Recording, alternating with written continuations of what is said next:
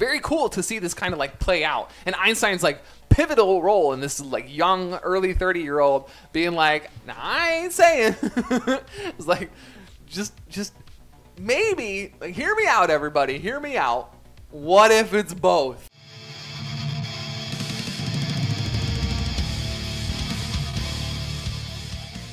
This is the book that we're reading from. It's a collection of papers uh, from Albert Einstein. Now, uh, the uh, cool thing about this book is that it's only from the years of 1900 to 1909.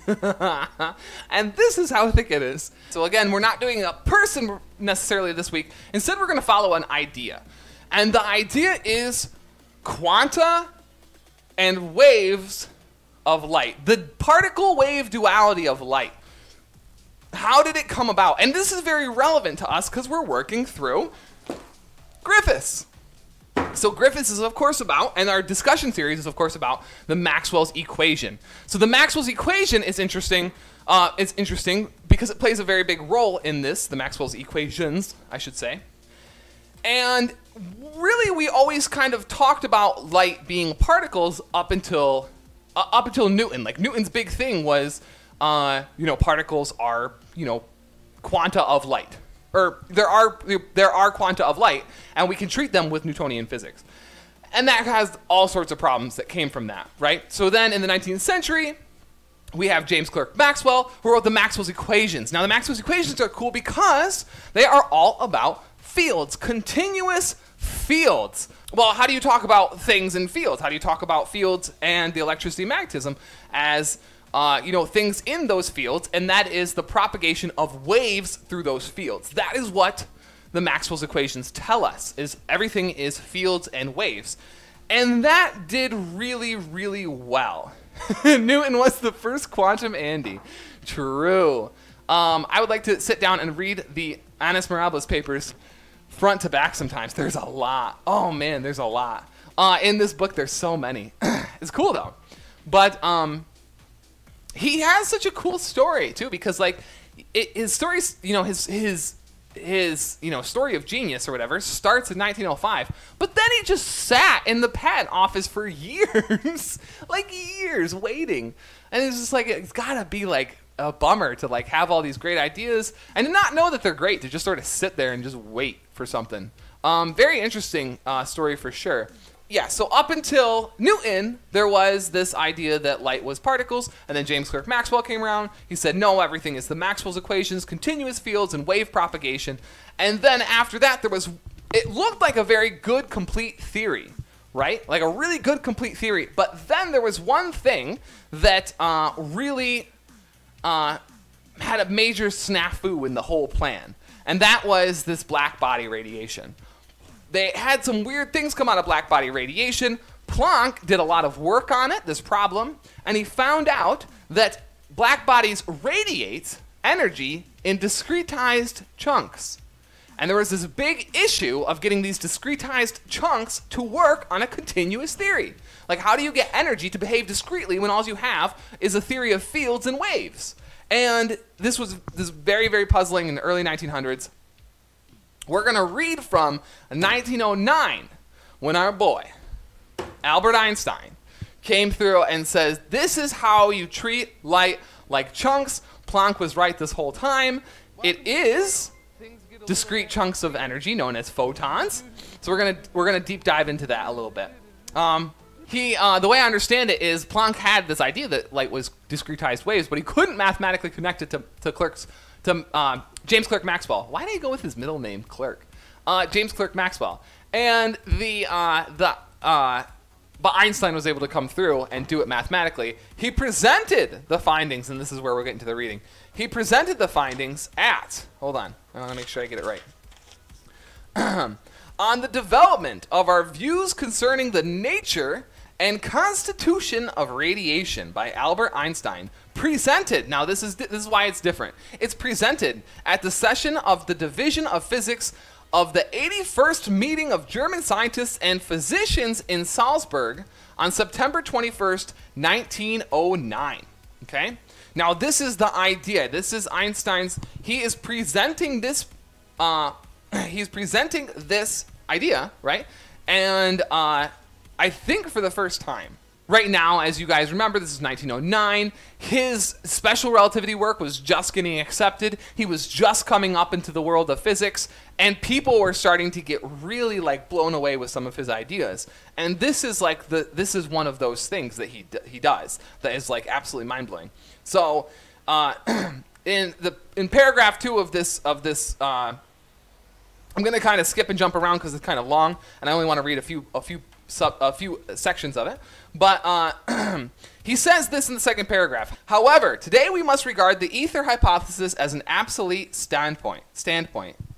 Uh, it is even undeniable that there is an extensive group of facts concerning radiation that shows that light possesses certain fundamental properties that can be understand understood far more readily from the standpoint of Newton's emission theory of light than from the standpoint of wave theory.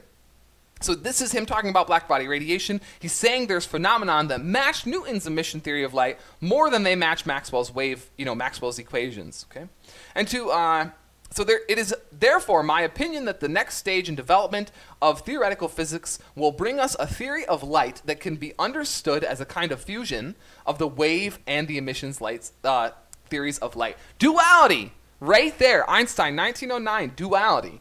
To give reason for this opinion and to show that a profound change in our views of the nature of constitution of light is imperative is the purpose of the following remark. And uh, then, so then I'm going to skip the next paragraph and go into the uh, the following one. Um, and he says the introduction of the electromagnetic theory brought about a simplification of the basis of theoretical optics and a reduction in the number of arbitrary hypotheses, getting rid of parameters. Like he's he's talking about how Maxwell made the you know E and M theory uh, a mathematically complete theory. The old question about the almost complete. The old question about the direction of oscillation of polarized light became moot. The difficulties with boundary conditions at the boundary of two media were resolved by the, by the foundation of the theory. There was no longer a need for arbitrary hypothesis in order to exclude longitudinal light waves. The pressure of light, which has only recently been established experimentally, which plays such an important role in the theory of radiation, proved to be a consequence of the theory boom, it's like one after another of these successes that, uh, that uh, Maxwell had. I will not attempt here an exhaustive enumeration of the well known achievements, but will rather consider a cardinal aspect in which electromagn- uh, electromagnetic theory agrees with, or more accurately, seems to agree with the kinetic theory. Uh, and then, so now he's starting to lay down the foundations of everything. He's talking about the velocities of light and how that behaves, the velocity of everything. He, he goes off to start by saying that this is not, this theory does not exist. The, th- the theory of ether, excuse me, the theory of the ether does not exist anymore. Like, that's, we have enough reason to throw it away. We're done with the theory of ether. But now, what can we say about light behaving in these new terms of special relativity? Of course, Einstein's special relativity, right? He goes on to credit Lorentz for the, uh, trailblazing the way that would lead ultimately to his theory of relativity. Um, and uh, then he goes on to dis- to suggest Michelson and Morley's experiment, or Michelson's experiment. He doesn't say anything about Morley. I assume it's the same one. Um, but it's the principle, you know, the principle of relativity shows up. And then he starts laying down some foundations for how light behaves in special relativity. And he goes on to say the theory of relativity has thus changed our views on the nature of light insofar as it does not conceive of light as a sequence of states of a hypothetical medium, but rather as something having an independent existence just like matter. Which that is very, very important. Like this is one of the emphasize uh, one of the reasons why I wanted to emphasize this paragraph that Einstein's saying. It's very important that you that we now have a different idea of light as a instead of a propagating medium or something changing in a medium, that this is a form of something similar to matter. It's something outside of the medium. Uh, background independent, if you will, or background dependent, excuse me.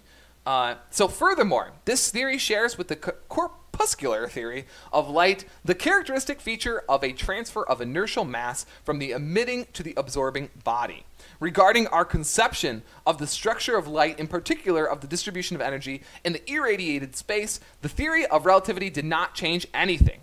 It is nevertheless my opinion that with respect to this aspect of the problem, we are at the threshold of not yet fully foreseeable, but nevertheless highly significant developments. What I shall presently say is for the most part my private opinion, or rather the result of considerations that I have not yet been sufficiently checked by others. If I nevertheless present these considerations, this should not be attributed to excessive confidence in my own views, but rather the hope, rather to the hope that I may induce one or um, another among you to concern himself with the problem in question. So that's, I mean, like you gotta love that about Einstein, about young Einstein right here. Like what's in 1909? So he's 31 years old. He's my age, okay? He's 31, 32 years old. He's literally my age, and he's saying I and obviously he's way more accomplished. Slayer, good to see you. Welcome, welcome. But he's way more accomplished, and he's there, and he's saying, you know, I'm not presenting this to you confidently, saying that I, my ideas are correct. I'm saying, really, what he's saying that becomes more evident is Planck is correct right? This idea that light is discretized is real. You should take it seriously, and this is why. I'm not saying this because I think I'm overconfident in my abilities. I'm saying this because I want to encourage you to take this idea seriously. Um, very, very cool. Uh, I think there's one more paragraph I wanted to note. He goes on to lay down more mathematics. He he uh, he uses a lot of experimentations in this paper to kind of like bolster his ideas, which is really important. Again, rigor and intuition, you know, meeting at phenomenon, right? Like that's the cool part of it. Is he has this in, we all, they all had this intuition, they all had this rigor, and the intuition was going back and forth between like the ether and you know E&M waves as, as like the background or ether as the background. We don't need ether anymore. We now we have special relativity. What is this thing that has this light propagating in it? You know. Now Einstein's saying light can be separate. Um, an ether pony. um, awesome. so what is this thing that light propagates in?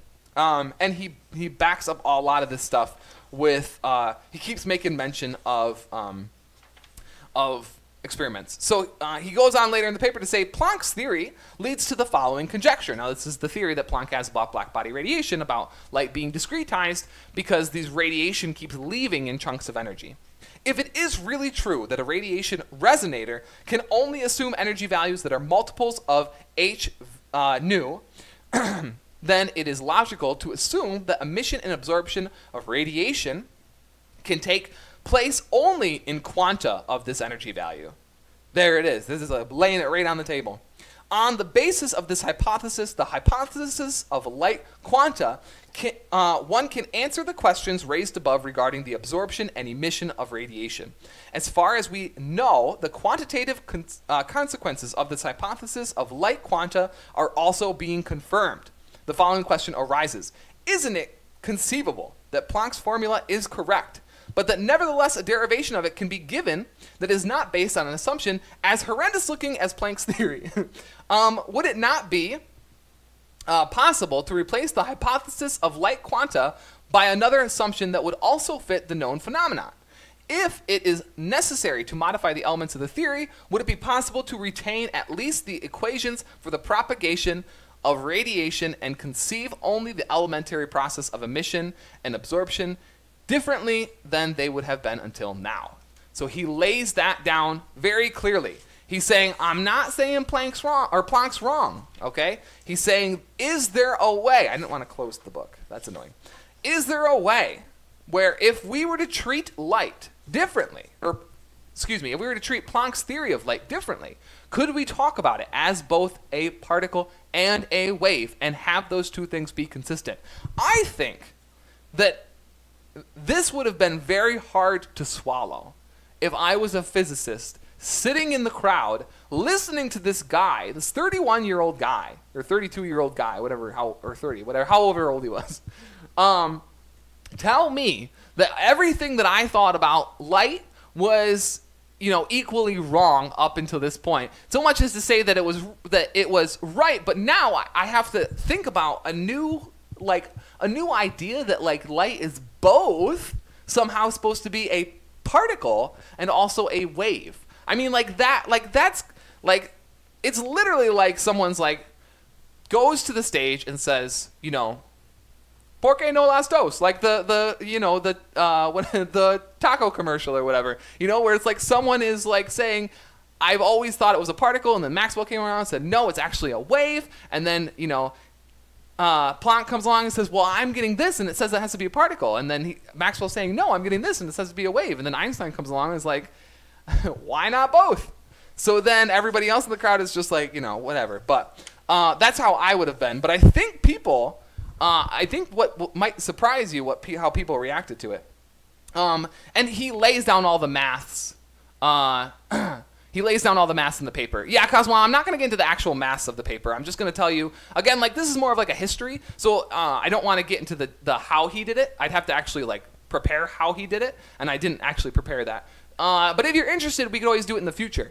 Um, but I would probably not use this as a reference because someone else, I'm sure, prepared it much better at a different time, uh, and I'd have to find that. This is a little bit hard to like to follow. I'd have to spend quite a bit of work trying to prepare it step by step.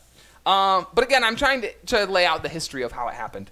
Uh, so this is the final paragraph in the lecture. It says, still, for the time being, the most natural interpretation seems to me to be that the occurrence of electromagnetic fields of light is associated with singular points, just like the occurrence of electrostatic fields according to the electron theory. It is not out of the question that in such a theory, the entire energy of the electromagnetic field might be viewed as localized in these singularities, exactly like the old theory of action at a distance.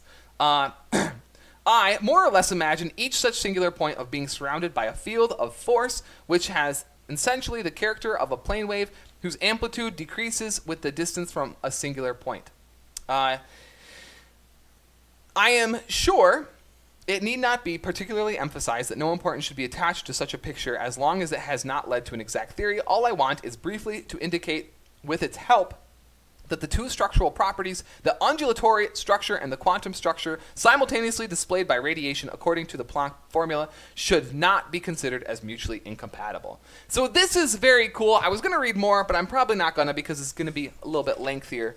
Um, here's the here's the the takeaway from the lecture is that Einstein's laying down some of the groundwork, some of the mathematics, the baseline. But at no point does he say, you know, I don't at least when I was reading it, I didn't find like the step by step start here and solve it this way. And he even says very, very conservatively that I'm not trying to prove anything. I'm trying to get you guys thinking that this is the way that it could be, and that we should start investigating this as you know a reality. And uh, Planck's remarks afterwards, the remarks are in here as well. I can post them in Discord if you want, but the remarks are in here as well. And he says some very interesting stuff. He very much thinks that he agrees with Einstein. He's a little bit hesitant about going on to the wave theory idea.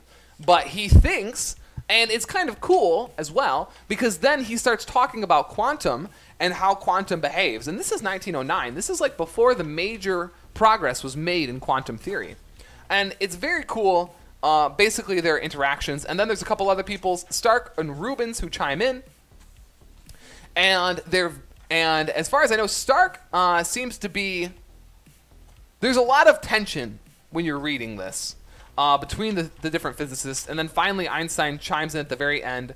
Uh, and he just basically says, like, hey, like, we did it before with molecules. We found that molecules are smaller in atoms. We can do it again with this. And he's like, there's, there's always going to be um, this idea that we can break it down into smaller constituents. We can look at it through a different guise, and that these things might may look different. So here's the thing: is like this is what they were doing back in 1909. They were just getting this idea that there exist these small quantum particles in the beginning of the 1900s in 1909. Uh, you could have this they, they were trying to understand this idea that there was something smaller than even the atoms. Like there was things happening, and even light, like something that moves at the speed of light. How do you talk about that as a as a discrete object? But yet they found it in experiments, and they were trying to explain it. And like this was the like this was like the birth of quantum mechanics is is what Planck did with discretizing light. And then later on, it would come in, uh, the Heisenberg and the Schrodingers would come in, and then Dirac would come in and like start furthering along quantum theory into something that was, you know, attainable and usable. Very cool to see this kind of like play out. And Einstein's like pivotal role in this like young, early 30 year old being like, nah, I ain't saying. it's like, just, just maybe, like, hear me out, everybody, hear me out. What if it's both? and I think that's really cool that Einstein would take that like that approach to this problem. Um, really, really interesting and gives you perspective. So I have a question. I have a question for you before. There we go. There's the push-ups. I have a question to you before we end the topic, and that is, what is in 2021? What is the current quantum quantum theory being developed? Uh, so what exists now that we're studying in 2021, where we are kind of like muddling around with some ideas, and everybody's kind of like disagreeing with each other. We're at each other's throats, and you know we're kind of like thinking about like you know I'm disagreeing and you're disagreeing and like that.